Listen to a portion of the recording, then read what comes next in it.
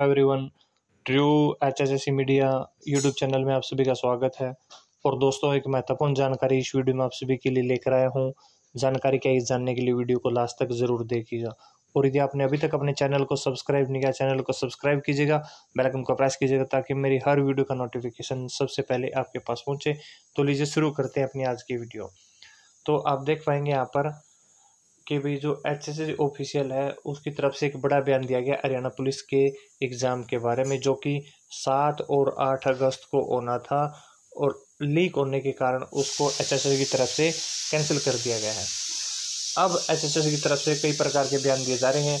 एक अधिकारी ने क्या कहा है, वो हम देख लेते हैं और कितना सही है, ये आपने ज़रूर बताना है कमेंट करके। तो यहाँ आप देखें, इसमें कहा गया है पर्ची खर्ची वाली सरकारों में तो जिन्हें नौकरी देनी होती थी पेपर सीधे उनके घर ही पहुँच जाता था। और ये बात उन्होंने कही है, रणदीप सुरजेवाला के कमेंट के ऊपर कही है, कि सीधे घर ही पेपर पहुँच जाता था। अब सिस्टम बना है, फिर भी पेपर चाहे सात बार कैंसिल हो, नौ बार, बेईमानी तो नहीं चलेगी।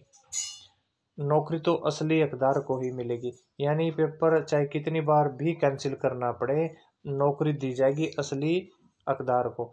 ये मनोहर लाल खट्टर सरकार है। रणदीप सुरजेवाला जी, इस बात की गांठ बाँध लीजिए। यानी रणदीप सुरदा, सुरजेवाला जो उन्होंने जो ट्वीट किया था, उसके ऊपर ये ट्वीट किया गया है। लेकिन इसमें एक थोड़ी सी ये बेतुकी बात की गई है कि पेपर चाहे सात बार कैंसिल हो, नौ बार कैंसिल हो, कहना यहाँ ये चाहिए कि हम अब पेपर को आउट नहीं होने देंगे। मतलब कैंसिल का तो अब आगे कैंसिल हो, तब होगा आउट होगा। तो ये कहना चाहिए, अब हम किसी भी तरीके से उसको लीक नहीं होने देंगे।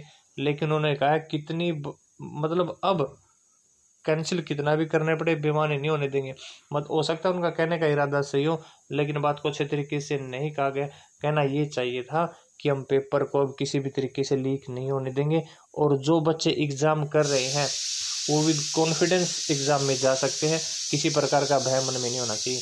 तो आप कमेंट करके बता सकते हैं कि भी ये जो ट्वीट किया गया है, ये किस तरीके से होना चाहिए था।